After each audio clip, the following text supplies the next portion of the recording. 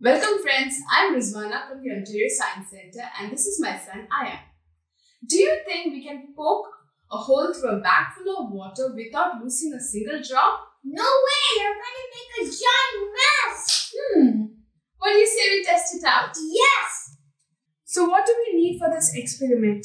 Do we have a resealable plastic bag? Check. Water? Check. Lots of sharpened pencils? Check. We're using round pencils, not hexagonal. That's right. Thank you, Ayan. Now let's take a plastic bag and fill it two-thirds with water.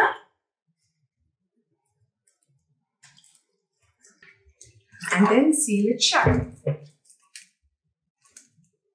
Now we can conduct the experiment to test your hypothesis. Now what do you think will happen if I push this pencil through a bag of water here? I think the water will leak and there will be a giant mess. Here's a container just in case.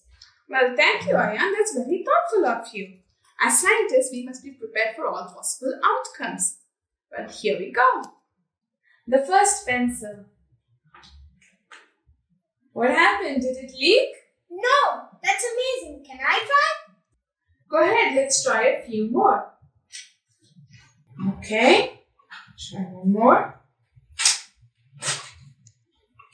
Now that we have seen what happens, let's try to understand why this happens.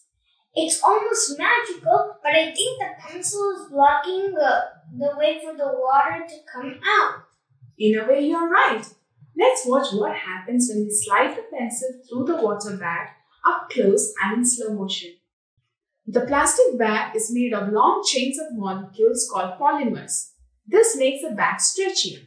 When the sharpened pencil pierces through the bag, these long chains of molecules seal around these pencils, preventing the water from leaking out of the bag. What are polymers? Poly means many and mers means molecules. These molecules are linked together to form long chains.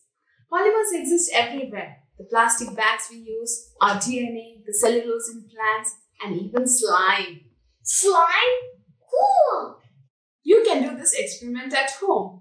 Do you think it would work better with thin or thick bags, round pencils or hexagonal pencils, or small bamboo skewers and big pencils? Have fun trying it yourself. Make sure to let us know how it goes. Thank you for watching. Bye.